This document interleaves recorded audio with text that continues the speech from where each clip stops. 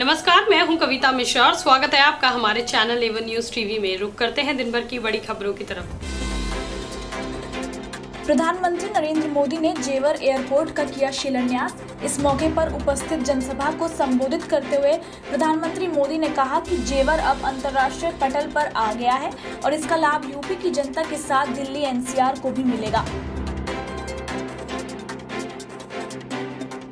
दिल्ली सरकार ने बढ़ते प्रदूषण को देखते हुए आज से कंस्ट्रक्शन का काम रोकने का ऐलान किया है। वहीं सीएम अरविंद केजरीवाल ने कहा कि हम श्रमिकों को उनके न्यूनतम वेतन के अनुसार मुआवजा देंगे। इसके तहत श्रमिकों के बैंक खातों में पाँच पाँच हज़ार रूपए जमा करने का आदेश दिया गया है। उत्तर प्रदेश में आगामी विधानसभा चुनाव से पहले समाजवादी पार्टी और आम आदमी पार्टी के बीच गठबंधन हो सकता है। समाजवादी पार्टी के अध्यक्ष अखिलेश यादव और आप सांसद संजय सिंह के बीच मुलाकात के बाद ये अटकलें लगाई जा रही हैं। किसान नेता राकेश टिकेत ने संसद के शीत सत्र से पहले दिन ट्रैक्टर रैली निकालने का ऐलान किया है।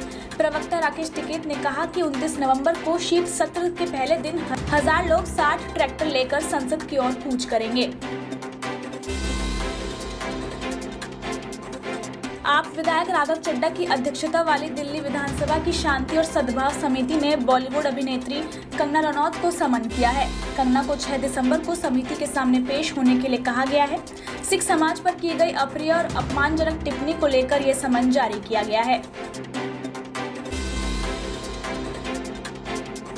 दिल्ली मेट्रो ने दिल्ली वासियों को एक बड़ा तोहफा देते हुए सत्तावन किलोमीटर लंबी पिंक लाइन पर चालक रेल ट्रेन परिचालन शुरू कर दिया है। त्रिपुरा निकाय चुनाव को लेकर बवाल सुप्रीम कोर्ट का आदेश मौके पर भेजी जाएँ बीएसएफ की दो टीमें।